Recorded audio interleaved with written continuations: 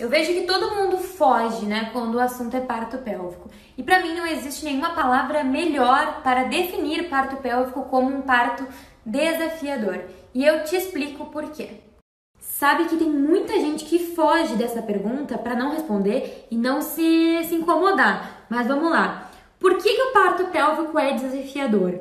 Porque todos nós desejamos que o bebê fique cefálico para o parto normal. Nós fomos feitas para termos bebês, para que o nascimento ocorra quando o bebê está cefálico. O que, que é isso, Betina? É quando o bebê está com a cabecinha para baixo. Quando é a cabeça do bebê que desponta na hora da expulsão no parto final.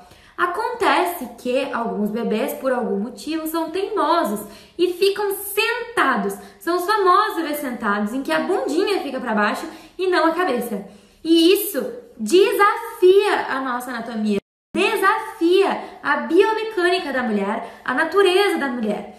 Então, muito cuidado no que eu vou te dizer, porque aqui a gente é extremamente realista, não vou ficar te iludindo aqui e te e, e aqui eu não omito informações para vocês. Eu acho que somos mulheres adultas que sabem que todas as escolhas têm uma renúncia. Por isso saibam que eu não vou ficar floreando coisa aqui, não vou ficar uh, omitindo detalhes para florear o parto normal, para demonizar a cesárea. Vem comigo. Por que, que a gente tem que pensar que é desafiador?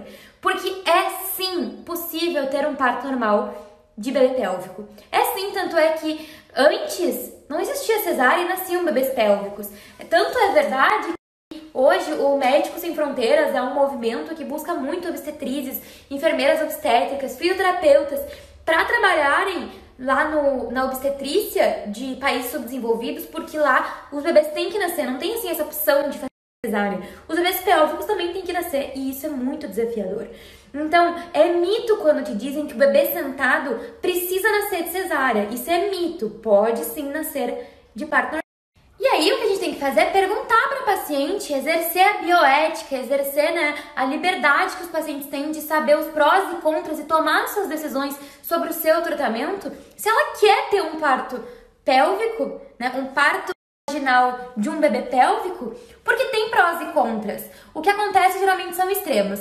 Existem aquelas pacientes que têm o bebê pélvico e não tem a opção da cesárea, ela vai ter parto pélvico a todo custo, e nesse caso, uh, muitas vezes pode até ser um parto extremamente traumático, com maior risco de laceração, maior risco de intervenções uh, extremamente agressivas para o corpo da mulher. Existe, eu tô te falando a verdade, e também existe aquelas mulheres que estão com bebê pélvico e já tem uma cesárea agendada. Nem entra em trabalho de parto, como eu fui. Eu fui um bebê sentado que a minha mãe teve a sua cesárea agendada dia 15 de junho, no mesmo dia do aniversário do meu pai, no mesmo horário, e ela nem entrou em trabalho de parto para eu nascer. Então, essa moça aqui me perguntou qual é a minha opinião sobre parto vaginal de bebê pélvico, tá? Essa perguntinha que veio. Então, ela pediu a minha opinião. Nenhum dos extremos é positivo. Eu acredito que as mulheres têm orientadas sobre os prós e contras de ter um parto normal de um bebê pélvico. O que, que são os contras? Lembra que eu falei para vocês que ele é desafiador porque ele desafia a biomecânica da mulher? Então, ele vai ser um parto mais difícil, que tende a ser mais doloroso? Pode ser que sim, pode ser que não, mas ele tende, porque ele é anti-anatômico tá certo? É possível? É. Ninguém pode dizer que não é possível, porque ele é possível sim. Agora, eu realmente acredito que essa ter a opção de ter um parto cesárea ou antes disso passar por um procedimento de versão cefálica externa, que é o VCE. O que, que é isso? TCE é um procedimento externo feito pelo obstetra e não são todos os obstetras que fazem, porque ele tem sim um certo risco que envolve ali o cordão e tudo mais, em que o obstetra é guiado ali pelo ultrassom, tenta virar o bebê, tenta botar ali a cabecinha para baixo para que ele fique um bebê em posição cefálica e facilite o parto. Acontece que nem todos os obstetras fazem isso e que é uma opção do obstetra fazer ou não. Se você quiser buscar um profissional, você buscar alguém que faça esse procedimento. Então essa seria assim, antes da paciente entrar em trabalho de parto, a primeira coisa que ela poderia fazer e que deveria ser oferecido a ela, caso o médico trabalhe com isso.